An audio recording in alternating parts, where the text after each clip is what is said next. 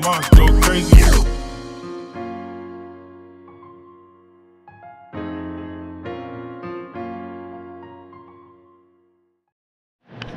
Hey man, so J-Fly here. I'm with my boy. State your name, gangster. Gremlin. Gremlin, one and only. The one and only, man. So we at Gremz Bike Repair, man. Check him out on Instagram, right? And he'll get your bike nice and dialed for you. Hey, there's a price. You understand? I'm not gonna tell you my price, but hey, there is a price to pay. So hit him up on Instagram. But right now we're gonna show you, I guess, the tools that you need to break down your race bike. So right now, he's taking my part, my bike apart. As you know, I have a project. Um, the bike is getting painted.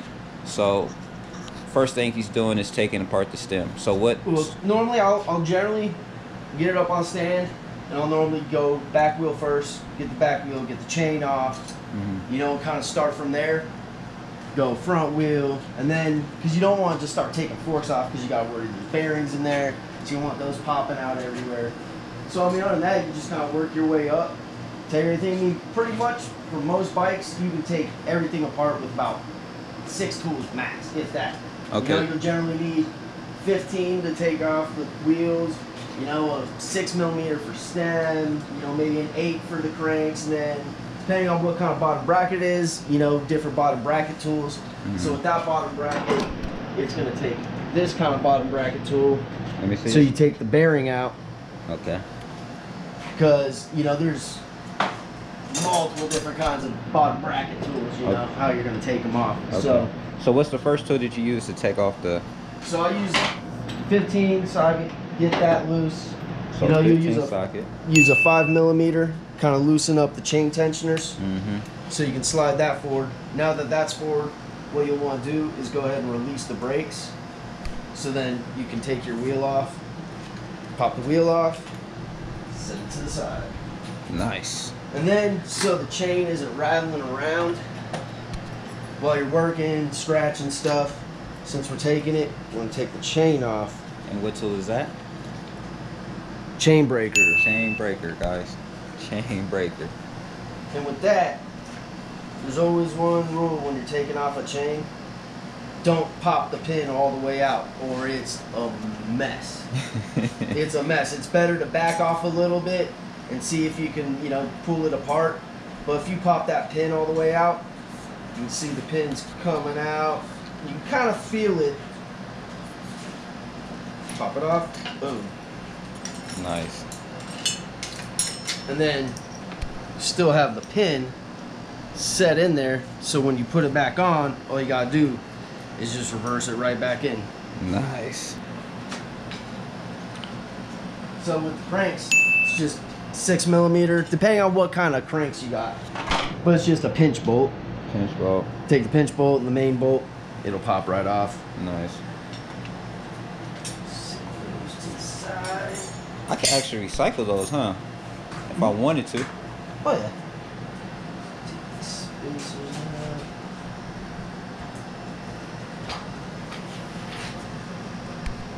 This, It's this a lost cool art. It, it, it baffles me when I when I came back. Yeah. You know, I just started riding again about a year ago. Mm-hmm.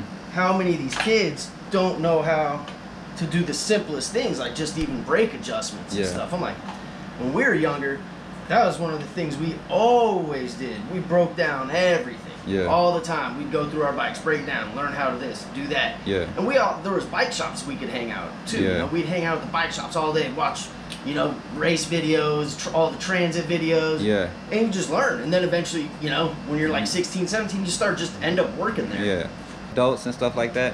So what tool did you just use So to take? they have a, a lock ring. So here's a lock ring. A lock ring normally on one sides of these kind of bottom brackets. Mhm. And it's just like a little little hook wrench to to get it off. But it was actually loose and I didn't need it. Nice. Stem is off. Now when you pull the forks, I'll normally grab the top. So that's the headset part, right? Yep, so I'll grab the top bearing of the headset, let the bottom drop, and then pop, keep that together. Gotcha. So I think that's the only thing. A lot of times with these internal routing, I like it, Uh huh. because your brake cable isn't exposed out. I do like it, but sometimes there's They're such pain in- a pain to pain fish through. Yeah. Um, I mean, I've kind of got my own way that I've kind of figured out to do it without getting the actual tool from Park Tool, which is like a magnet that you kind of fish through. But I just stick a small Allen key, like a two millimeter, Mhm. and I just kind of brace it into the frame like that. So as the cable's coming, it can't go back up in this area. It has to go down into the hole. So you kind of use the uh, kind of using it as a guide as you kind of sit it in there. And that's just something I kind of figured out kind of doing messing trying to get these around. internal routing Yeah. without buying the park toolkit that's like a little thing drop tube and it's got like a magnet that you pull it through which I should probably buy because it would make life easier but this way isn't too bad it it works Nice. it works It works, man. Hey, man. Everything is what works for you sometimes, man. I mean, you know, it just depends, but that's pretty much a full breakdown. So yeah. he got No. my frame down. Hey, man. Five tools. And let's name the five tools again. One, Remember us? We used a 15. 15, We used the 5 millimeter, five millimeter, 6 millimeter. six millimeter. We used the bottom bracket tool, whatever that one is. Bottom bracket tool. I mean, I guess we kind of used a hammer because the friggin' stem was on there pretty hard. had to use the hammer to get that stem off. And then, I mean, I had to use a two and a half just to get the uh, the grips off. But that's it. I mean, you don't need many tools to break down a bike. There isn't. The only difference is is what kind of bottom bracket you're gonna have. Yeah. You know, whether it's this tool, that tool, you know, that tool, what kind of bottom bracket you have. It, it's It really doesn't. other than that, everything else is either gonna be a five millimeter, six millimeter. Some cranks need an eight millimeter. yeah. But that's about it. A 15. You know, most and you know most tires like mine, you don't even need a 15. It's just a, an eight millimeter. Nice. So everything's easy. It's just a bike. Yeah. Uh, so that's that. That ends the production. He hooked me up today. Like I said, Always, at, bro. at Gremz Bike Repair, right? At Yup. Gremz Bike Repair on Instagram. The link is going to be there, right? If you haven't yet, subscribe to J-Fly. Hey, click right now, like, share, comment,